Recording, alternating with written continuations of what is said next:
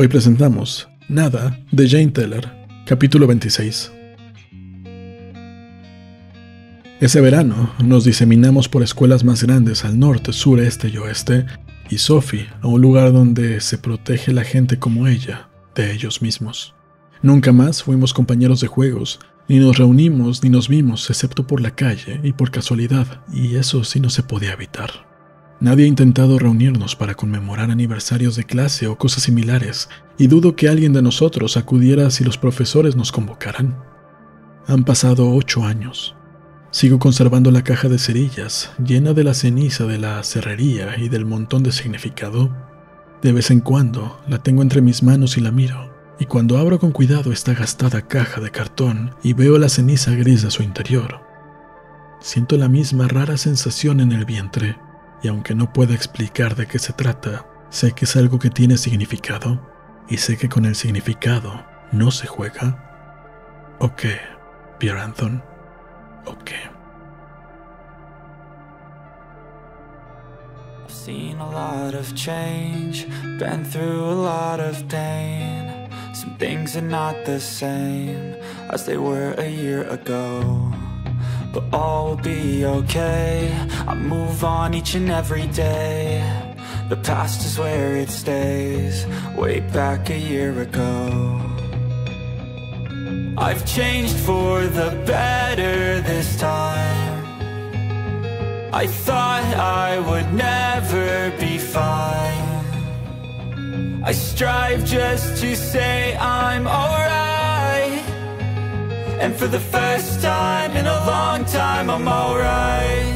I've seen a lot of change Been through a lot of pain. Some things are not the same As they were a year ago But all will be okay.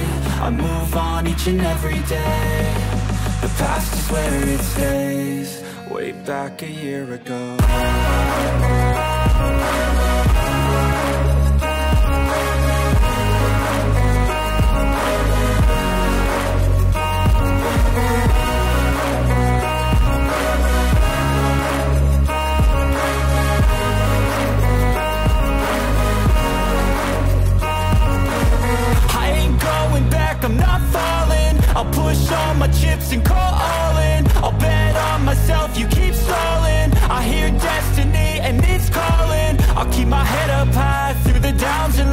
we're all going live Still nobody knows, but I'ma choose what's right And take what comes and goes. And ain't no one in life holding me back no more.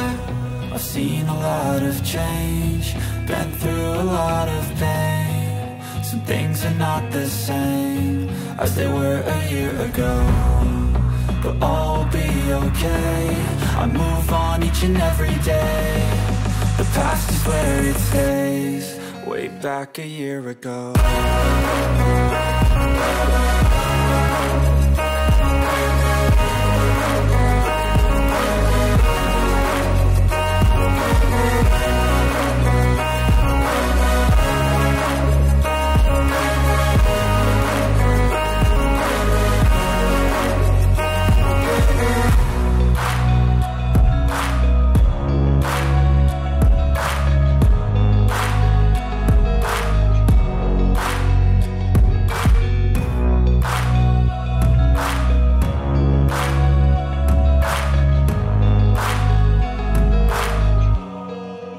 back a year ago